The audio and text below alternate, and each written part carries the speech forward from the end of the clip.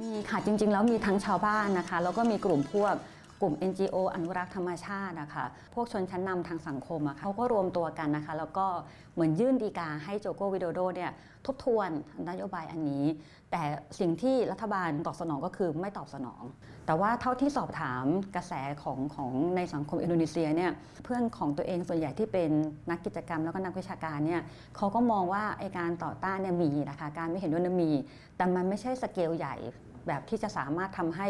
รัฐบาลต้องฉุกคิดหรือว่าพิจารณาใหม่ได้อะค่ะ เสร็จแล้วมีปัญหาหรือไม่มีปัญหายังไงก็ก็ต้องมาดูกันคิดว่าหลายประเทศจับตาดูนะคะ โดยเฉพาะในกลุ่มอาเซียนด้วยกัน ว่าแบบเอ๊ะอินโดนีเซียจะทำอะไร แล้วทำเสร็จแล้วเนี่ยมันจะส่งผลต่อเขามากน้อยแค่ไหนอย่างเงี้ค่ะ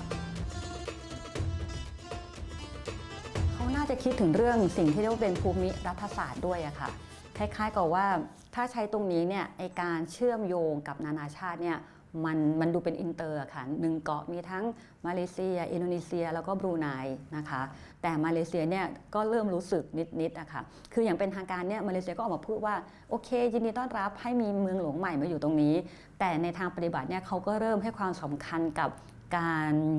ปักปันเขตแดนของเขา เพราะว่าถ้าเกิดมาสร้างเมืองหลวงจริงๆเนี่ยเขตแดนก็จะสำคัญขึ้นมาใช่ไหมคะเพราะว่าเมืองมันจะขยายพรมแดนทางธรรมชาติเนี่ยมันยังมีอยู่เยอะนะคะบูไนยังเงียบอยู่ค่ะเนื่องจากว่าอาจจะเป็นประเทศเล็กไม่ได้มีมีปากมีเสียงอะไรมากนักค่ะยังไม่ได้ออกมาพูดเรื่องนี้เหตุผลอย่างเป็นทางการของประธานาธิบดีเนี่ยดูเหมือนจะเป็นผลประโยชน์ของประชาชนใช่ไหมคะเพราะว่า คนอยู่ภายใต้สภาวะที่เมืองจะจมบาดาลไม่ได้แล้วนะคะ มีมลพิษ เยอะมากมายเลยรถก็ติดแบบว่าทุกอย่างมันแย่ดูเหมือนจะเป็นประชาชน แต่เท่าที่เห็นในตอนนี้เนี่ยคนที่ได้ประโยชน์จริงๆเนี่ยเป็นพวกนักลงทุนกับพวกผู้นำประเทศอะค่ะเพราะว่ามีคนทำสกู๊ปสารคดีะค่ะว่าไอ้พื้นที่หลายส่วนที่มันอยู่ใกล้ ๆ กับบริเวณที่เขาจะไปสร้างเมืองเนี่ย อยู่ภายใต้การครอบครองของบริษัทยักษ์ใหญ่ ซึ่งเวลาเขาเข้าไปแล้วเนี่ยไอการลงทุนก็ดี หรือไอที่ดินมันก็ต้องเพิ่มราคามากขึ้น พวกนี้จะได้ประโยชน์ คือก็มีคนโจมตีโจโกวิโดโดเรื่องนี้เยอะว่า เป็นการเอื้อประโยชน์ให้กับพวกนักลงทุน คือต่อให้ย้ายไปแล้ว ย้ายทั้งคนย้ายทั้งการส่วนราชการไปแล้วจาการ์ตาก็ยังมีปัญหาอยู่นะคะ ถ้าไม่แก้ ก็คือแทนที่เราจะเอางบประมาณเยอะขนาดนี้ไปสร้างเมืองใหม่เนี่ยคิดเรื่องการพัฒนาหรือว่าแก้ปัญหาจาการ์ตาไม่ดีกว่าหรออะไรอย่างเงี้ยค่ะ หรือถ้าเกิดเป็นห่วงเรื่องการพัฒนาที่ไม่เท่าเทียมกัน ก็ใช้นโยบายอื่นๆน่ะที่มันจะก่อให้เกิดการพัฒนาในที่ต่างๆ โดยที่ไม่ต้องไปสร้างเมืองหลวงใหม่อย่างเงี้ยค่ะ มันสร้างจากศูนย์นะคะมันมันไม่ได้มีอะไรที่มันรองรับพร้อมอยู่แล้วเนี่ยค่ะ คิดว่าคล้ายๆกับที่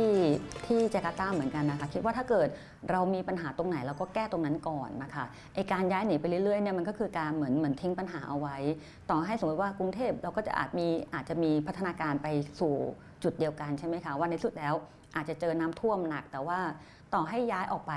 ก็ยังจะท่วมอยู่ดี มันก็ต้องแก้ปัญหาตรงนี้ดีกว่าที่จะแบบ ไปสร้างเมืองหลวงใหม่เนี่ยค่ะเราอาจจะมีความใกล้เคียงกันนะคะในหลาย ๆ สิ่งสองเมืองเนี้ยมันจะถูกมาถึงกรุงเทพกับจาการ์ตา มักจะถูกเอามาขิงกันนะคะในแง่รถติด คือคนอินโดนีเซียก็จะมองว่าเอ้ยประเทศเรารถติดแย่มากเลย ในขณะที่คนไทยเวลาไปจาการ์ตาก็จะรู้สึกว่าจาการ์ตา มันแย่มากเลย เพราะว่าบบรถเยอะมากคิดว่าสภาพหลายอย่างคล้าย ๆ กัน แต่ว่าจาการ์ตาอาจจะอาจจะมากกว่า เนื่องจากจำนวนประชากรเขาเยอะกว่า แล้วก็ เนื่องจากเป็นประเทศที่มีน้ำอยู่ใกล้น้ำเนี้ยค่ะก็อาจจะมีปัญหาเรื่องนี้มากกว่า แต่กรุงเทพก็ก็สาหัสคล้ายๆกัน ก็เลยคิดว่าโอ้มันอาจจะเป็นเป็นสองเมืองหลวงในภูมิภาคนี้ ที่คนเวลาพูดถึงเรื่องรถติด พูดถึงน้ำท่วมหนัก ก็จะเอามาเทียบกันพอได้นะคะ